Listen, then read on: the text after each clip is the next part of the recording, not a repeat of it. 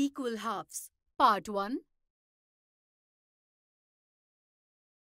Today we will learn what is a half and how are things divided into two equal parts. I have got a sandwich for lunch today. What have you got today, Ayushman? Today I have got one paratha. Why don't we share our food today? Sure, you can have my paratha. Hey, if you give me the whole paratha, what will you eat? Let us share. I meant we divide our food into two equal halves. You give half of your paratha to me, I will give you half of my sandwich. Half means dividing anything into two equal parts, right? Yes, like I have four sandwiches. If we divide four sandwiches into two equal parts, then one part will have two sandwiches. I will keep one part for myself and the other part I will share with you. Now look, I have two sandwiches and you too have two sandwiches. Yes, now I have half of your sandwich. But we could count the sandwiches and find the number of halves. But I have only one paratha. How will we divide it into two halves? This is very easy. We will cut it from the middle. Now look, we made two equal halves of one paratha. Now you eat one part and I will eat one part. This means objects can be counted and divided to make a half. Yes. Today my mother has also given me buttermilk in this bottle. How do we divide this into two halves? I also don't know. Why don't we ask madam after finishing our lunch? Okay. Hello, madam. Hello, Vandana and Ayushman. Tell me what is the matter? Madam, we want to know how to divide objects into halves. There are different ways to divide different objects, Ayushman. First, tell me what object you want to divide. This bottle has buttermilk and we want to divide this into two halves between us. Okay. This buttermilk is a liquid. Liquid is measured in liter or milliliter. Look, it must be written somewhere on this bottle. How many milliliters of buttermilk does it contain? But I cannot see. Show it to me. See, here it says that this bottle has 300 milliliters of buttermilk. We use ml to write milliliter. Half of the 300 ml will be 150 ml. Which means if we divide the buttermilk in two equal halves, we both will get 150 ml each. Am I correct, madam? You are absolutely correct, Ayushman. But how will we measure 150 ml? See, there are different measuring cups to measure liquid. But we do not have those cups with us right now. Then how will we measure the buttermilk? Look, I have two cups here. A normal size cup is approximately 150 ml. You can pour the buttermilk in both these cups. Okay. Both the cups are completely filled. This means that the buttermilk has been divided into two equal parts. Now we have learned to divide all types of objects into halves. No, you still haven't learned to divide all types of objects into halves. What objects cannot be divided into two equal halves? Tomorrow I will get those objects that you haven't learned to divide into two halves. Only then I will tell you about them. Now you both please go to your class as it's time for your class. Yes, madam, we will come tomorrow. Today we learned that to divide an object into two halves means to divide it into two equal parts. Some objects can be counted and divided into halves. Like Vandana had four sandwiches, so we counted them and divided them. Some objects are divided on the basis of their size, such as the paratha. And liquid is measured in liter or milliliter to be divided into two equal halves.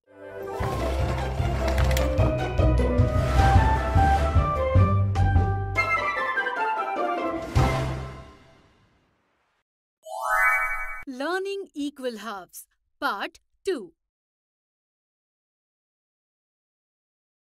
Today we will learn how objects are divided into two equal halves using their weight.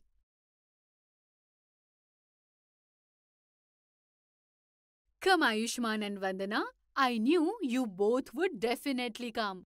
Madam, have you got those objects that we have not learned to divide into two equal halves?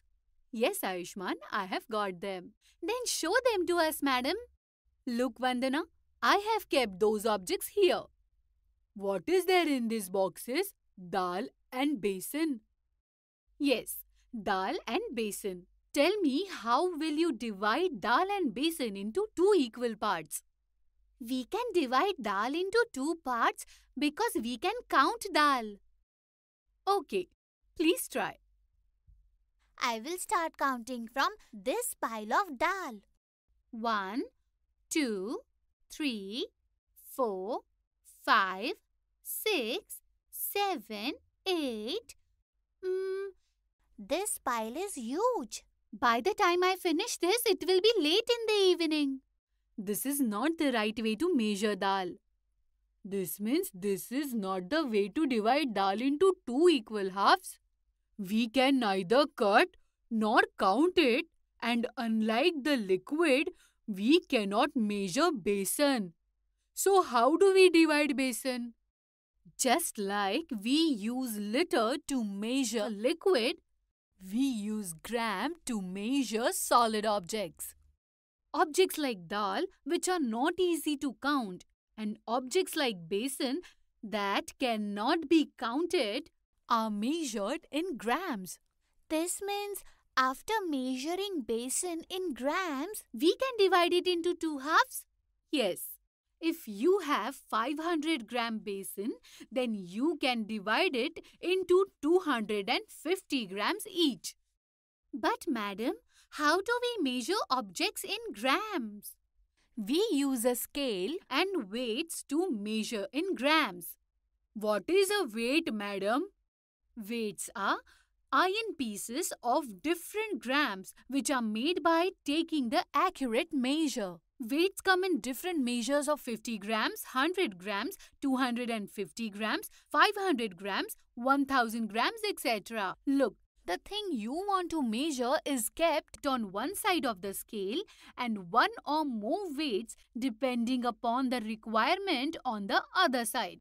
When both sides are in balance, this means that the weight on both sides are equal. When both sides are equal, we calculate the weights added. The weight of the item is the same as the weights added. The weight of this dal is 500 grams.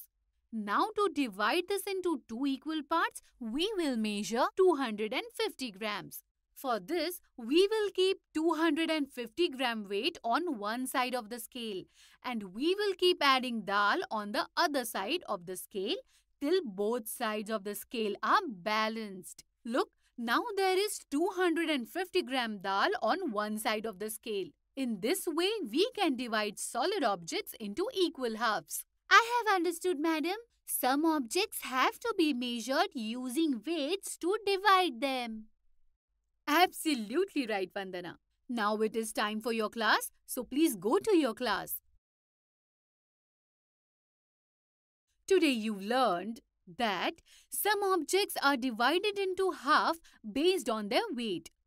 A scale and weights are used to measure the weight of any item.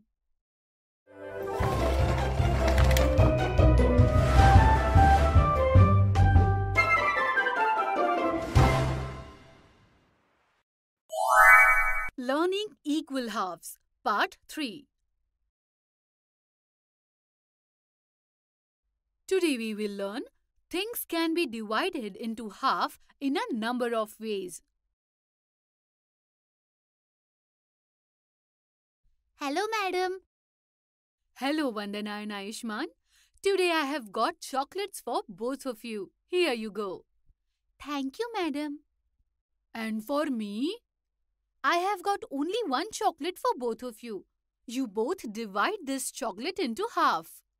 Okay, madam. Thank you. I will divide this chocolate into half. In how many ways can you divide this chocolate into halves? This chocolate has six pieces. This is one way I can divide it into two equal parts. I will break this from the middle. Like this, there will be two equal parts. Is there any other way to divide this chocolate in half? Look, Vandana, we can divide this into two equal parts like this. By using this way to divide in two parts, we still have three pieces each. I did not think that we can divide into two equal parts using this way. Then it can also be divided into two equal parts like this. Absolutely right, Vandana. This means that the same thing can be divided into halves in many ways. Yes, look at this paper. It is a rectangular paper and it can also be cut into halves in many ways. You also try to divide it into halves in many ways. This paper can be divided into equal halves in this way. You have divided it into two halves in quite a few ways. Yet there are many more ways by which it can be divided into halves. What are the other ways by which it can be divided into halves? Look, this is also another way. Oh yes, this can be divided into half like this too. We didn't think of this. Similarly, there are more ways in which they can be divided into half. I have understood. This means the paper is measured based on its area. So we can divide it into half in any way. We just have to take care that the two parts are of the same area. Absolutely right, Vandana. Today you learned there can be several ways to divide objects into halves depending on its area. Like Vandana and Ayushman divided the paper into two halves in different ways.